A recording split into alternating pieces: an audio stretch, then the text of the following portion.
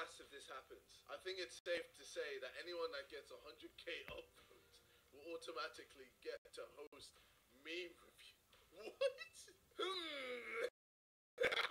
Oh wow. Uh, I don't even know. Maybe I'd be so bad at it. No, no. Let let PewDiePie the king. He's uh he's he's the greatest at doing it. So besides Elon Musk, obviously, but uh, yeah.